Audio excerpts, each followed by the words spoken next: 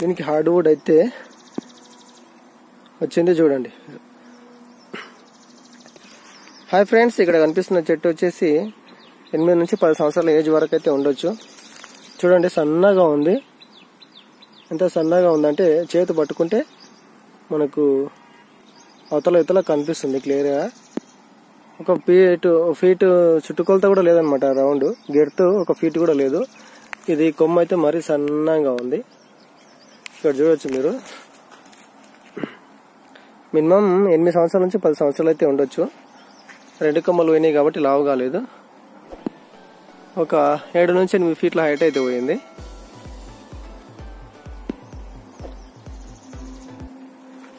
ఈ ten years మొక్కకి ఇది న్యాచురల్గా పుట్టింది. అడవిలో అడవిలో పుట్టింది. న్యాచురల్గా మొలిచింది ఇది. చూడండి చెట్టుకి ఎట్లాంటి సపోర్ట్ మొక్క కానీ లేదు. ఈ పక్కల ఏదో పర్కి చెట్టు ఉంది ఇది. పర్కి చెట్టు ఉంది ఈ పక్కల. ఇది చూడండి బుడం కూడా సన్నగానే ఉంది. ఎట్లాంటి మెయింటెనెన్స్ లేదనమాట దీనికి వాటర్ కానీ లేదు సపోర్ట్ మొక్క కానీ లేదు ఏం లేదు.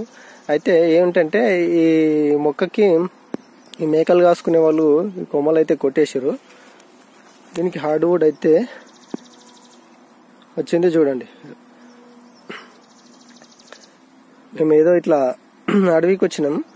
వస్తే మేకలు కాసుకునే వాళ్ళు ఈ కొమ్మనైతే కొట్టారు అనమాట మేకల కోసం. కొట్టినప్పుడు చూస్తే ఈ కొమ్మకైతే హార్డ్వుడ్ అయితే వచ్చిందనమాట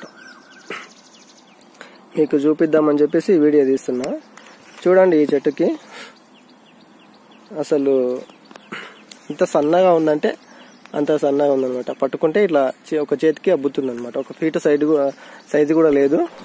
హైట్ వచ్చేసి ఒక ఐదు ఆరు ఫీట్ల హైట్ అయితే ఉంటుంది. ఇంతవరకు కట్ చేస్తే నేను ఏదో క్యాజువల్గా వచ్చినప్పుడు చెట్టును చూస్తే కట్ చేసిరు అని చెప్పి దగ్గరకు వచ్చి చూస్తే షాగ్ అయితే వచ్చిందనమాట ఇట్లా న్యాచురల్గా పుట్టిన చెట్లకి చాలా తొందర వస్తుంది సాగ దీనికి మళ్ళీ ఎలాంటి మెయింటెనెన్స్ లేదు ఎరువులు లేవు ఎట్లాంటి వాటరింగ్ లేదు. చెట్టు పక్కల ఒక పరికి చెట్టు అయితే పరికి కంప అంటారు కదా ఈ పరికి చెట్టు అయితే ఉంది పక్కలో. పక్కనే ఉందన్నమాట దీనికి.